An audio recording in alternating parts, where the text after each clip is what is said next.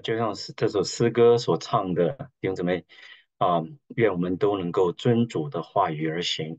那今天早上我跟大家分享的经文和这个也有很大的关系啊。我们一起来呃读神的话啊，马可福音的四章啊，四章啊十一到二十五节的啊这样呃这个经文啊，这个经文呢可能又熟悉又不太熟悉，因为它和啊这个。四本福音书，其他的经文有点类似，但是内容实际上是不一样的啊。我们现在读这段话，就是啊，马可福音四章二十一节，耶稣又对他们说：“人拿灯来，其实要放在斗底下、床底下，不放在灯台上吗？因为隐藏的事没有不显出来的，隐瞒的事没有不露出来的。有耳可听的，就应当听。又说，你们所听的要留心，你们有什么？”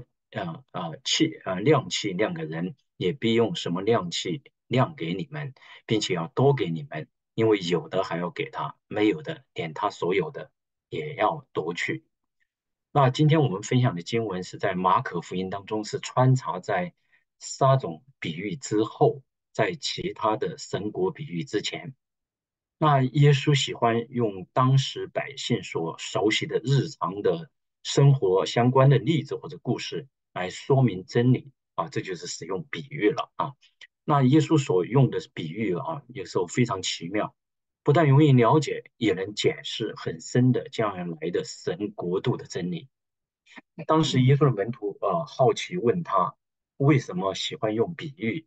那耶稣对这个问题的初次的回答是啊，呃，四章二十一节呃啊，不是二十一节啊，是十一十一节到十二节那地方，他说。耶稣对他说：“神对他们说，神国的奥秘只叫你们知道。若是对外人讲，凡事就用比喻，叫他们看是看见，却不晓得；听是听见，却不明白。恐怕他们回转过来，就得赦免。”那对旧约圣经比较熟悉的话，我们知道这段经文，耶稣实际上是引用了以赛亚书的六章十一节的经文啊。那照字面来看，耶稣似乎有似乎有意让人没有回转的机会，才刻意用比喻，我要把真理隐藏起来。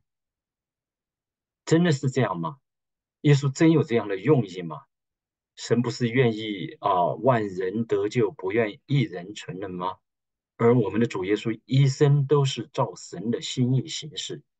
因此，他不可能啊，不可能只允许某些人得救，却禁止某种人啊不能得救。更何何况，耶稣也呃屡次的强调，有耳可听的就应当听啊。今天二十三节，他地方也说到这一点，可见他非常渴望人人都能够听见真理，明白真理。而且，正如刚才我们所说的，比喻是来说明真理的，所以在这里。耶稣就用了另一个比喻来说明他使用比喻比喻的目的哈，就今天我们所读的经文啊，马可福音的四章二十一到二十五节。啊，人拿灯来岂是要放在斗底下、床底下，不放在灯台上吗？那这个比喻与马马太福音就是五章十六到十五到十六节的经文那个比喻是不同的。那里比喻门徒的生命要像光一样照在人前，见证荣耀神。而这里的灯是比喻主的道，主耶稣所讲的真理就是光，因为隐藏的事没有不显露出来的啊，显出来的隐瞒的事没有不露出来的，所以主耶稣啊使用比喻教导人，不是为了把真理向外人隐藏起来，乃是为了启示啊，让人容易明白神国的福音。真理的光怎么会放在斗底下呢？耶稣岂是故意让人不明白真理吗？可是问题是该如何显露呢？接下的经文，耶稣对此做了说明。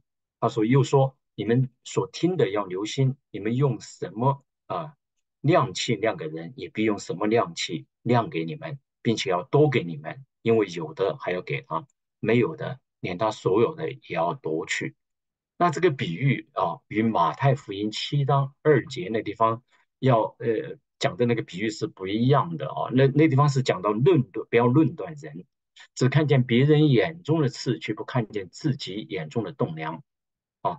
那比喻本来是来说明真理，同样一个比喻不同的心态的人听了会有不同的结果啊。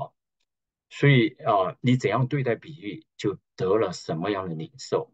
那耶稣的比喻隐藏着真理，但那些心里不在乎真理的人听的时候就摸不着头脑，两手空空的走了。反之啊，反之，如果听者的心被吸引，他会追寻当中的意义，那么隐藏的就会最终显露出来。因为隐藏的是没有不显出来的，隐啊呃。掩藏的是不没有不显出来的，隐藏的是没有不露出来的，这是这就是真理显露的方式，只对有心人展开。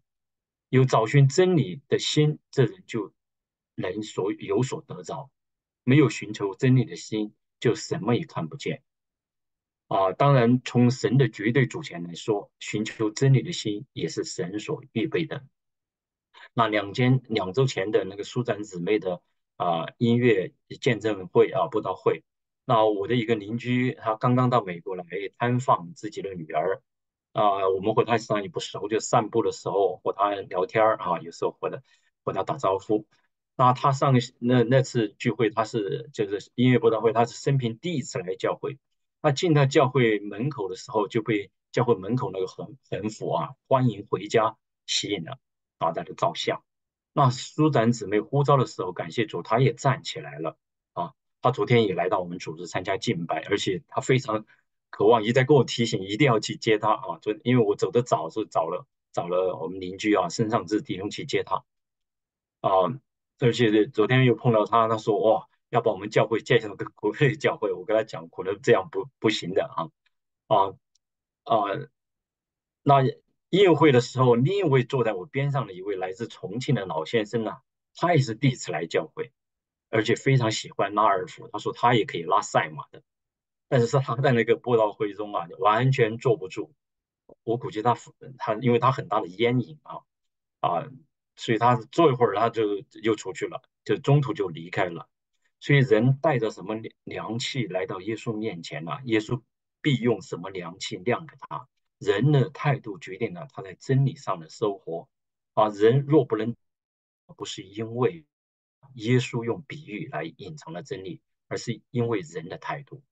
耶稣的话也是对我们这些已经信主的人的一个提醒，或者说也是警告吧。